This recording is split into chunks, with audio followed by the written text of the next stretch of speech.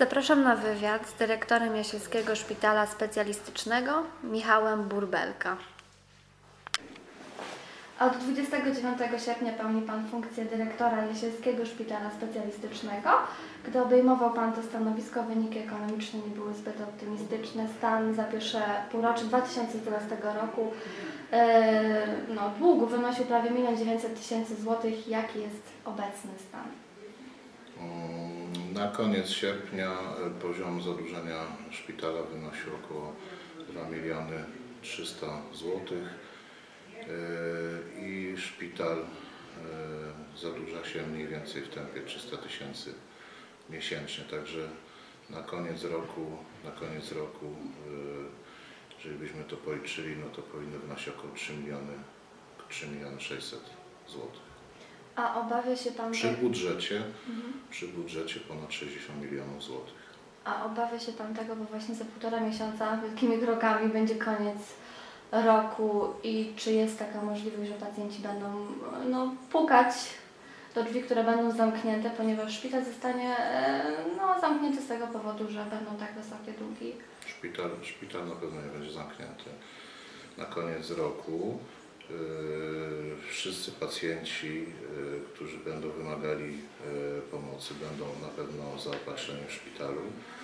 Może dojść do sytuacji takiej, że ze względu na wykonanie kontraktu na 2012 rok mogą się co nieco wydłużyć kolejki na przyjęcia tak zwane planowe.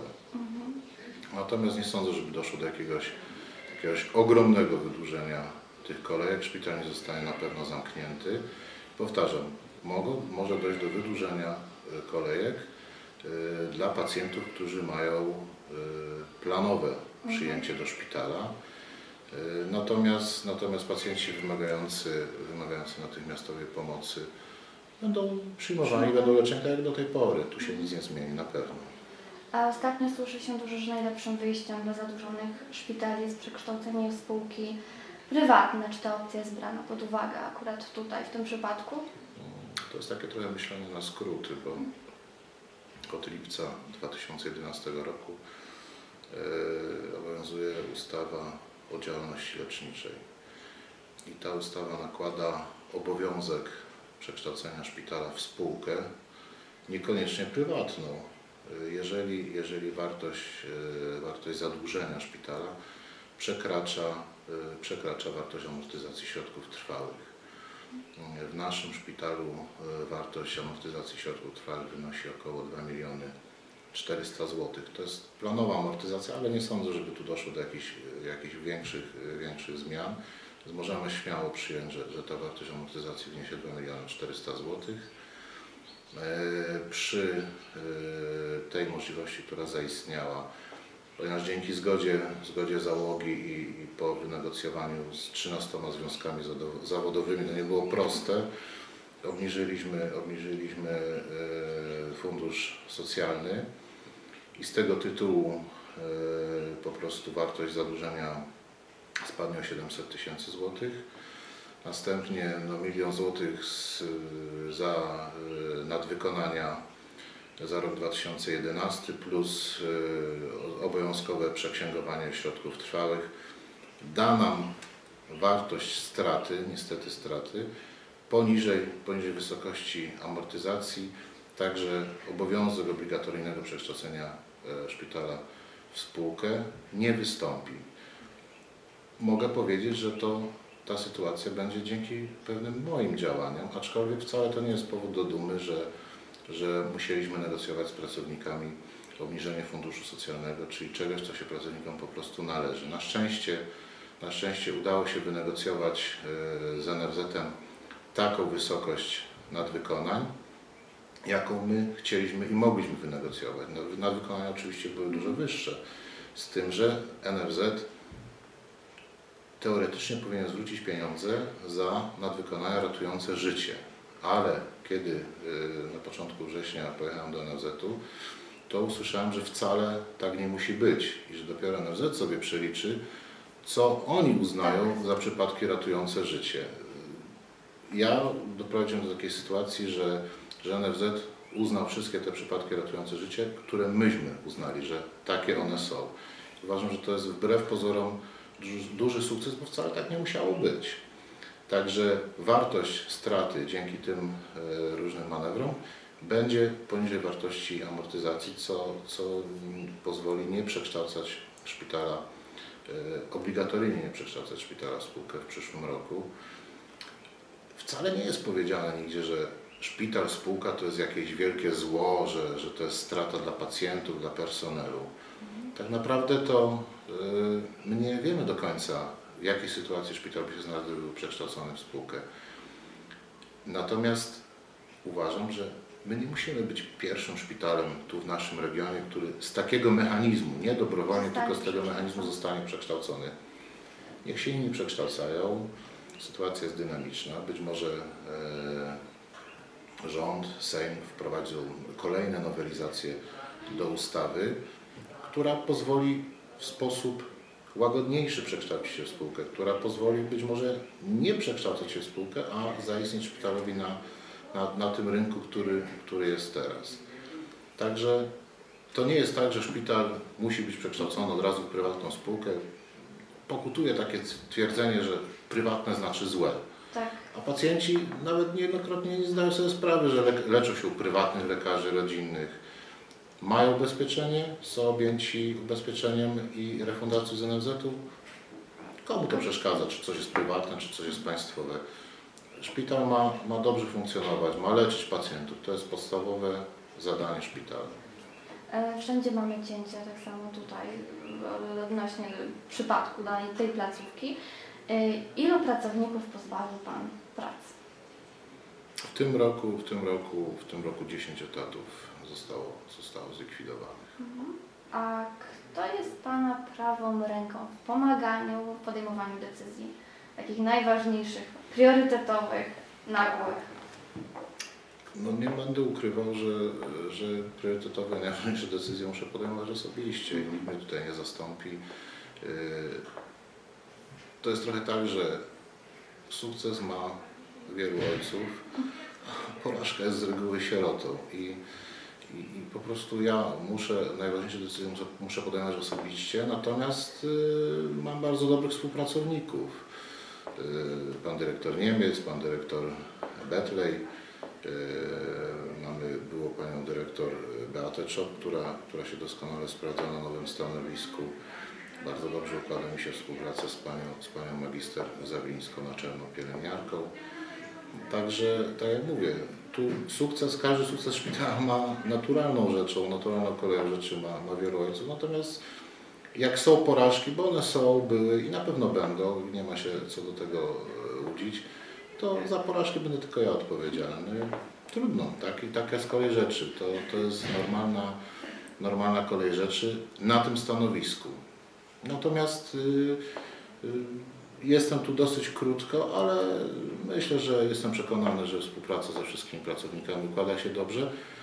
Takim wyznacznikiem tej współpracy i, zrozumienia mojego postępowania jest choćby to, że mm, poprzednia y, dyrekcja szpitala nie była w stanie wynegocjować takich ustępstw ze strony pracowników, jakie ja wynegocjowałem, co, tak jak zaznaczyłem, to nie jest powód do dumy wcale, bo to jest rozwiązanie doraźne, tymczasowe, ale ustawia szpital na pewnych torach, nie pozwala na raptowne, być może nie do końca kontrolowane przekształcenie w spółkę, a, a niech mi Pani wierzy, dogadać się z 13 związkami zawodowymi to nie jest prosta sprawa. E, No, trzy miesiące to krótki czas, żeby uzdrowić, wyciągnąć y, Krótki, z dołka ten szpital. Podobno starostwo powiatowe przygotowuje konkurs na dyrektora Tak, tak, było od Szpitala i czy Pan dyrektor będzie nim startował? Będzie Nie wiem, nie wiem, nie, nie podjąłem jeszcze decyzji. Mm. No trudno mi się na ten temat y, wypowiadać, bo y, nie ja organizuję ten konkurs. Nastawienie i oczekiwania zarządu powiatu i pana starosty osobiście na pewno, na pewno są większe niż, niż to, co ja do tej pory zrobiłem. I to jest zrozumiałe. Po prostu y, starosta y, martwi się o to, w jakiej sytuacji będzie szpital, musi przewidywać pewne, pewne posunięcia. Jego rolą jest y, poganianie mnie w takim dobrym, dobrym tego słowa e, znaczeniu. Aczkolwiek y, trudno jest w tej sytuacji, w jakiej jest szpital, dokonać tutaj cudów. E, Są trudności z przepisywaniem leków na ryczałt przez lekarzy, na przykład lek kleksalny, to jest lek przeciwzakrzepowy, który podaje się Tak. na przykład pacjentom po operacji. Dawniej przepisywano go na 21 dni, teraz przepisywany jest na 10. A co się stanie, kto poniesie odpowiedzialność, jeżeli w 11 dniu pacjent dostanie zakrzep i umrze? To znaczy, tu jest, tu jest pewne takie niepo- nieporozumienie, bo Mhm. e, lek, e, ten, o którym Pani mówi, czyli heparyna drobnocząsteczkowa, nie, używajmy nazwy handlowej, e, jest przepisywany pacjentom bądź to po urazach nieoperowanych, bądź to po operacjach różnego, różnego rodzaju. I lek jest przepisywany na refundację tak, jak jest jego charakterystyka. Dzisiaj lekarze mają swoją wiedzę medyczną, NFZ ma swoje zalecenia, a każdy produkt leczniczy ma tak zwaną charakterystykę produktu leczniczego. Niestety zani- zaczyna zanikać coś takiego jak dobra praktyka. Myśmy nieraz stosowali różne, różne leki, wiedząc, że nawet uboczne ich działanie potrafi leczyć niektóre problemy. To tak jak stosujemy leki przeciwko nadciśnieniu po to, żeby uzyskać u pacjentów uboczny skutek, likwidację obrzęków. A de facto stosujemy leki, które produkowano po to, żeby leczyły nadciśnienie. Ale dzisiaj każdy lek musi mieć charakterystykę. I w charakterystyce produktu leczniczego jest ściśle zapisane, są zapisane wskazania, do jakich chorób ten lek ma być użyty. Jeżeli w leku, w tych heparynach, o których Pani wspominała, jest napisane, że przy operacji takiej i takiej powinien być stosowany przez 11 dni, to do takiej długości czasu lekarz może wpisać lek z pełną czy tam częściową refundacją. Ale doświadczenie mówi, że ten lek powinien być stosowany przez kilka tygodni.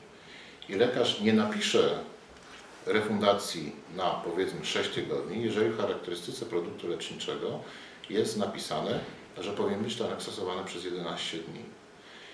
W związku z tym lekarz powinien napisać lek refundowany na ten czas zgodny z charakterystyką, a na pozostały czas, jeżeli uważa, że to jest konieczne, pisze lek już w formie niestety nierefundowanej. Ale o tym zadecydował od stycznia tego roku NFZ. NFZ zlikwidował pewną dowolność leczenia. No nie ma, nie ma takiego przełożenia No doświadczenia, ciężkiej, doświadczenia lekarza, na, a stosowanie leku. na, na ten lek, bo jeżeli zostanie przepisany, no nie będzie on refundowany, no to nie każdy będzie mógł. No, może wykupi, a może nie i później... Ale proszę mi wierzyć, to, to, nie wynika, to nie wynika z jakiejś złośliwości lekarzy. Jest po prostu są bardzo duże obostrzenia. Ja sam jestem poniekąd ofiarą takich, takich obostrzeń, nie wiedząc o, o tym, że mój znajomy, który, który się leczył u mnie, nie był w danym miesiącu, półtora roku temu ubezpieczony, Mhm. wypisałem mu receptę na lek w dobrej wierze, refundowany. Dwa tygodnie temu dostałem pismo z NFZ-u, proszę zwrócić 300 zł za nienależną refundację, ponieważ pacjent Nie był nie był ubezpieczony. Sprawa sprzed półtora roku, a od stycznia tego roku są jeszcze większe obostrzenia. Także proszę się nie dziwić, lekarzowi no, nie ma żadnej złej woli ani intencji, żeby złośliwie napisać lek nierefundowany, czy żeby, czy żeby na siłę pisać leki nierefundowane. Po prostu musi się trzymać przepisów NFZ-u, ponieważ obciąży to bezpośrednio lekarza, jeżeli to jest w prywatnym gabinecie, lub szpital czy przychodnie, a wiadomo, że, że potem jego szef może mu powiedzieć, słuchaj, no musisz zwrócić te pieniądze, bo szpital nie będzie, nie będzie za to płacił. Także adresatem problemu jest NFZ i Ministerstwo Zdrowia, ale pacjenci to odbierają przez pryzmat postępowania lekarza. Lekarza. Pierwsze I, obwiniają i, tu jest, lekarza. i, tu jest pewne, I tu jest pewne nieporozumienie.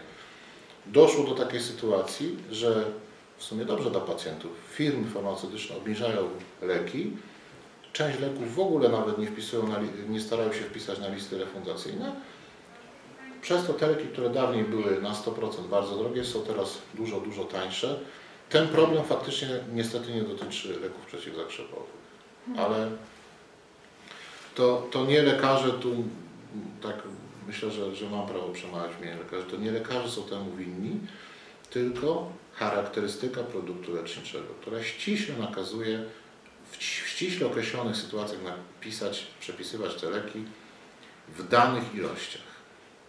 E, Czy prawdą jest, że niektórzy lekarze za jeden dyżur weekendowy zarabiają więcej niż inni pracownicy? Za jeden dyżur weekendowy zarabia więcej niż miesięcznie. No, no określmy się w ten jeden dyżur, jeden weekend. W przeliczeniu na przykład na miesiąc pracownika, który jest zatrudniony jako na przykład listonosz. Albo mm, może jakiś inny zawód, mm, troszkę z wyższej półki, nie wiem, może mm, nie lekarz, a przykład aptekarz. Bo też apteki mają weekendowe dyżury, prawda? E, Pani, no ja, ja nie, nie czuję się upoważniony do tego, żeby podawać jakie są stawki za, za godzinę dyżuru. E, Dyżur na oddziale, mo- mogę w ten sposób powiedzieć, dyżur na oddziale jest od godziny 15 do 7 rano. E, Jeżeli to jest dyżur kontraktowy, bo dyżury zakładowe są słabo opłacone, mówiąc szczerze. Jeżeli jest to dyżur kontraktowy, to jest, lekarz musi podpisać umowę z firmą zewnętrzną, musi mieć działalność gospodarczą, musi od tej działalności płacić podatek, musi płacić y, ZUS i ponosi pełną odpowiedzialność za jakikolwiek błąd popełniony w trakcie tego dyżuru. I w złotówkach y, on może dostaje, do- to jest może ładna suma, to ja, ja tutaj rozumiem ten problem, że to dla kogoś, kto powiedzmy y, zarabia niedużo, to faktycznie to może być wręcz, wręcz duża suma. Tylko, że to mówimy o tym, że tu trzeba jeszcze ten, ten dyżur, te godziny trzeba opodatkować, a na każdą godzinę tego dyżuru musi być wystawiony rachunek.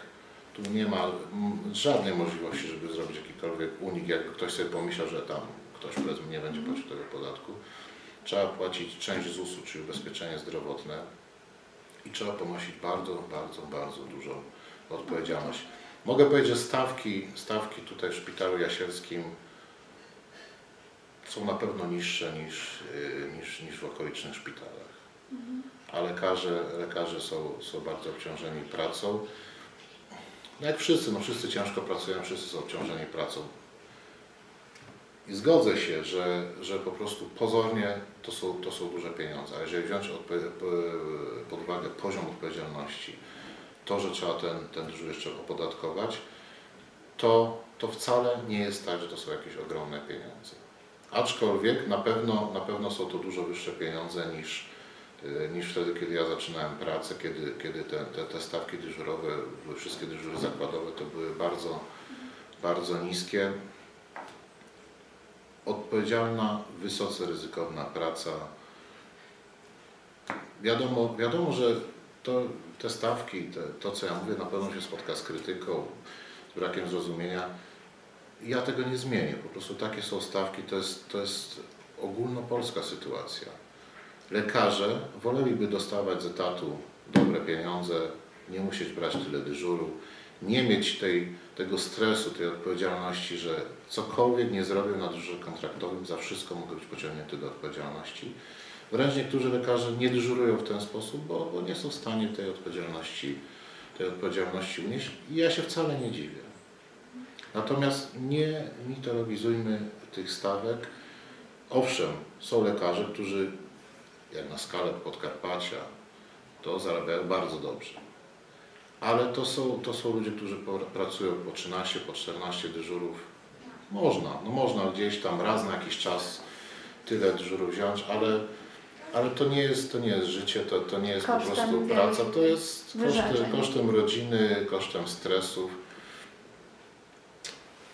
Tak jak każdej pracy. No, my może mamy większą możliwość jako, jako lekarze, żeby mieć więcej źródeł zarobkowania. Natomiast tego stresu, tych siwych włosów, tych nerwów, tych problemów rodzinnych niejednokrotnie, czasami problemów z alkoholem, tego nikt nie zrozumie, kto, kto w, to, w to nie wszedł, kto nie zaczął w ten sposób pracować.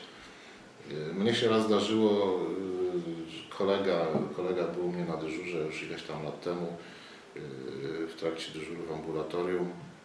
Jak zobaczył, jak to wygląda wszystko, wszystko od środka, powiedział sam, słuchaj, a też był tego zdania, że my to nic nie robimy, tylko jest kawa, gazeta. Jak zobaczył, jak to wszystko wygląda od środka, powiedział, że w życiu nie chciałby mieć tych pieniędzy, tej odpowiedzialności, tych nerwów, tego stresu.